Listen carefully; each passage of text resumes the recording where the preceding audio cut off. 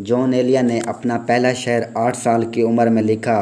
वो अपनी किताब शायद में लिखते हैं, मेरी उम्र का आठवां साल मेरी ज़िंदगी का सबसे ज़्यादा अहम और माजरा परवर साल था। इस साल में ज़िंदगी के दो बड़े हादसे पेश आए। पहला हादसा ये था कि मैं नरगे से अना की पहली शिकस्त खा बैठा, यानी मैं एक लड़की की मोहब्बत में गिरफ़्तार हो गया। दूसरा हादसा ये था कि मैंने अपना पहला शेर लिखा।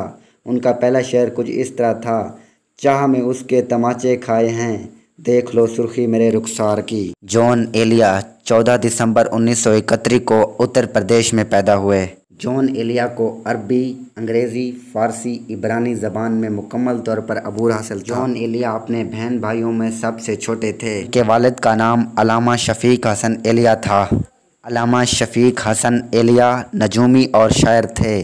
जॉन एलिया को अपने वालिद से गहरा लगाव था। जॉन एलिया के करीबी रफ़ीक सैयद मुमताज़ सईद बताते हैं कि एलिया उत्तर प्रदेश के सैदुलमदारस के भी तालब इल्म थे।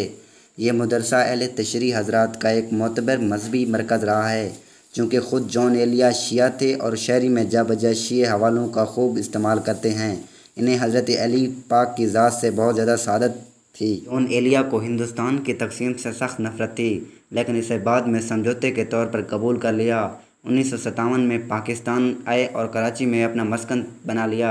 इसके बाद वो अदबी हल्के में मशहूर हो गए। बहुत ही लंबी अदालत के बाद जॉन एलिया 8 नवंबर 2002 को इस फ़ानी जहान से कूच कर गए।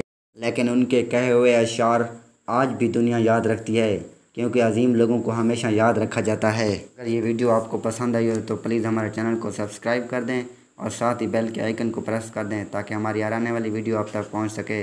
और हमें कमेंट में ज़रूर बताना कि आपको ये वीडियो कैसे लगी। अल्लाह